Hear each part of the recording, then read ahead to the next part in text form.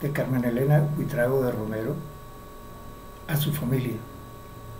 Carmen Elena escribió varios libros de poesía mística y le dejó un legado a sus hijos que quería que siguiera su línea de escritora.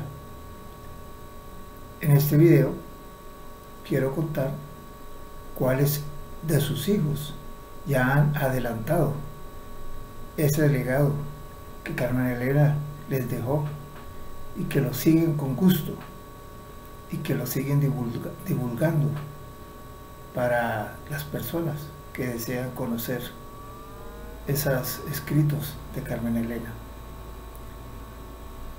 Carmen Elena fue casada con el veterinario Manuel Guillermo Romero Vaquero, que también fue un escritor bueno.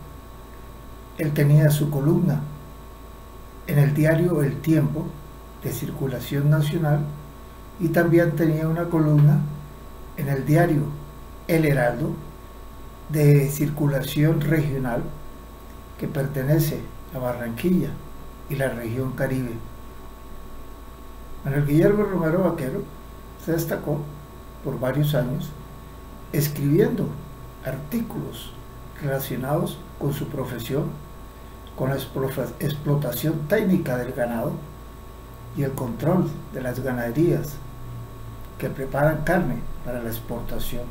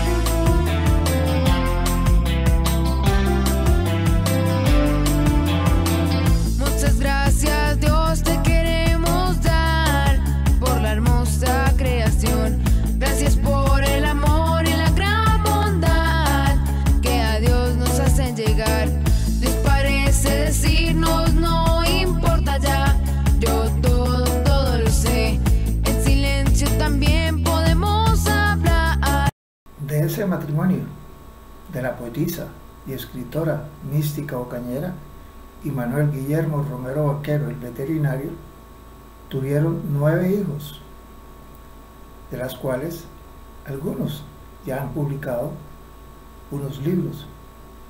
Y quiero empezar por Alejandro, uno de sus hijos, quien escribió un libro relacionado con un modelo de desarrollo económico alternativo que podría ser muy útil para la comunidad basado en el intercambio de tiempo.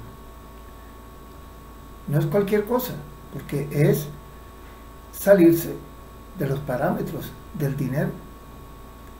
Pues es muy fácil proponer, donde hay dinero, pues es muy fácil proponer y resolver cosas y hacer muchas cosas pero hacer ya todo un, un modelo de desarrollo económico alternativo basado en el intercambio de tiempo es interesante porque es hacer asequible a todas las personas que quieran intercambiar conocimientos, artes, eh, artes, artesanías, conocimientos artesanales, técnicos, tecnológicos, profesionales, de Magister y de PhD.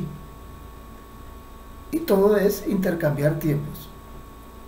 Es muy fácil colocar una oficina para regular ese intercambio de tiempo por tiempo. donde una persona de cualquier estrato, no es para ricos, no es para pobres, no es para paupérrimos, es para cualquier profesional de la categoría que sea pueda intercambiar tiempos, pero no necesariamente tiene que pagar con dinero. Se paga y se cancela esos intercambios con un bono hora, que también está medido en tiempo. Entonces hay bonos horas de un cuarto de tiempo, de medio, eh, media hora de tiempo, una hora, dos horas, cinco horas, diez horas, veinte horas, cincuenta horas y todo el que usted quiera medir.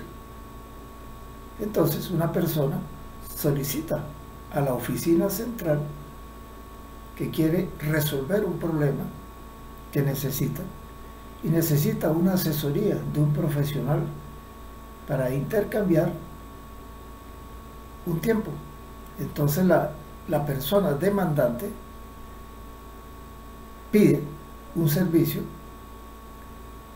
de cierta profesión, pongámosle un médico. Entonces que el médico vaya y le, asesore en tales cosas de su salud.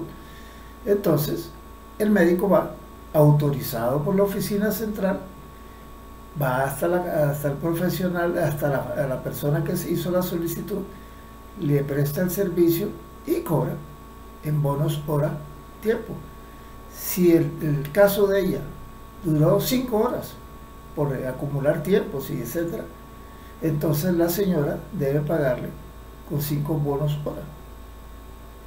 Y el profesional que hizo el, la asesoría recibe esos cinco bonos hora. Entonces, ve, es muy fácil. Entonces, todo es implementar cómo se puede eh, consultar esos intercambios y cuáles son las características y condiciones, porque toda, toda, toda organización requiere condiciones.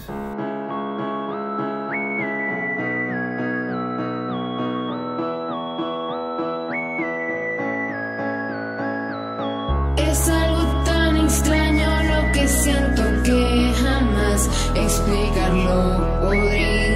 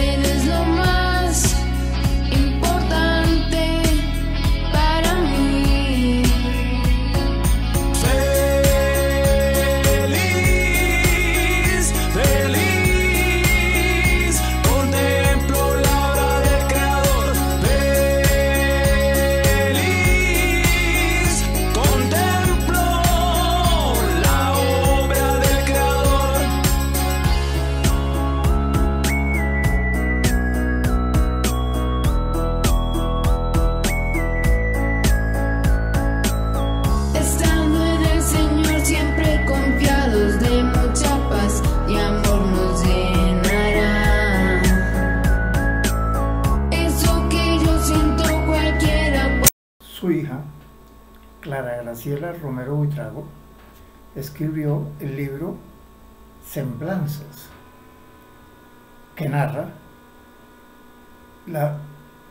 a la poetisa y escritora mística Carmen Elena Buitrago de Romero, homenaje póstumo que le hizo para recordar y seguir las poesías místicas de su madre.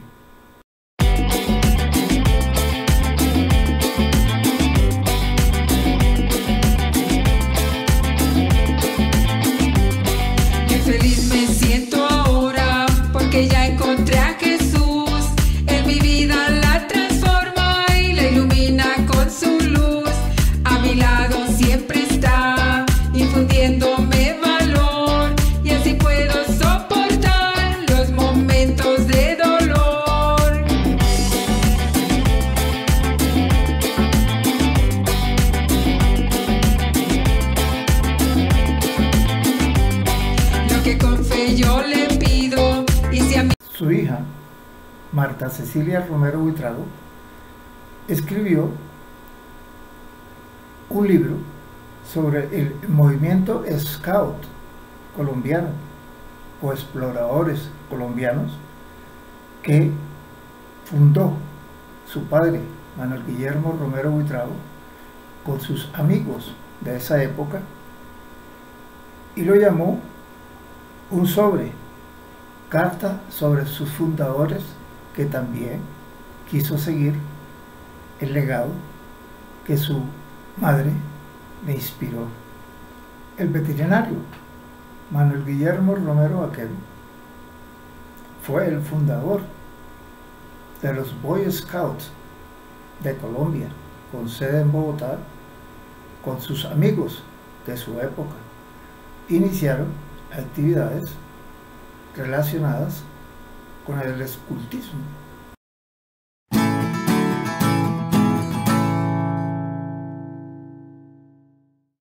Su hijo, Alejandro Romero Vitrago, está escribiendo un libro relacionado con el mercadeo de los productos agrícolas que favorecería a muchos agricultores de Colombia.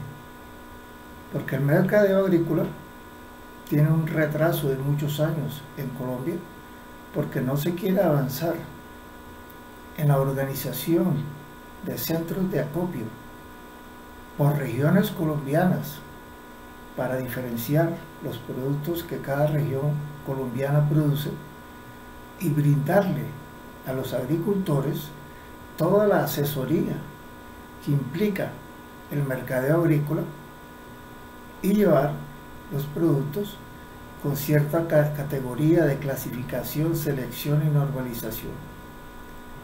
Esos centros de acopio agrícolas deberían operar en las seis regiones colombianas de tal manera que cada región colombiana se especialice en los productos que, dan la, que, que cultivan los agricultores colombianos en ese sector.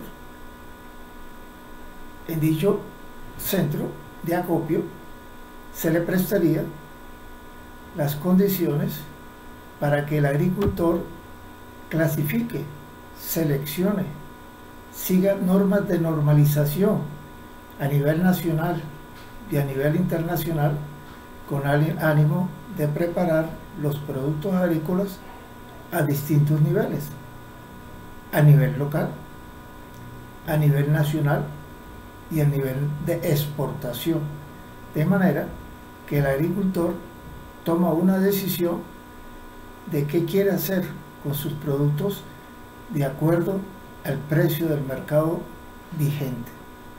También se le prestan servicios de almacenamiento al frío, eh, clasificación, selección, empacado y todas las funciones físicas del mercadeo y de intercambio del mercadeo para que él pueda, de acuerdo a su deseo, de acuerdo al mercado, de acuerdo con las centrales de abastos, direccionar sus productos agrícolas de tal manera que se pueda beneficiar el producto en todos sus aspectos, empezando por el transporte. Pero esa actividad económica del mercadeo agrícola no lo hay en Colombia. Hay algunas cositas que se prestan servicios muy importantes, que los prestan inclusive algunas entidades bancarias, pero como tal no existe de parte del gobierno ni de parte del sector privado grandes centros de acopio para prestar ese servicio de mejoramiento de la calidad de los productos agrícolas para que vayan siendo seleccionados de acuerdo con el canal de mercadeo que se utilice. Porque una cosa es mandar el producto agrícola a las centrales de abasto otra cosa es mandarlo a las cadenas de supermercado y otra cosa es enviarlo a los, a los centros de distribu- distribución y hacer la distribución urbana por barrios, por, por sectores, por, por regiones.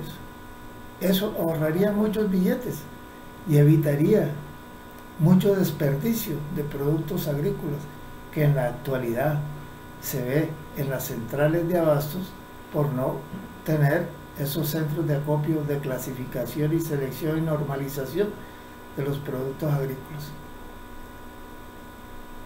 En ese aspecto hay mucho por escribir y hay mucho por hacer, porque en Colombia no existe esa tecnología tan importantísima, siendo Colombia un país de vocación agrícola.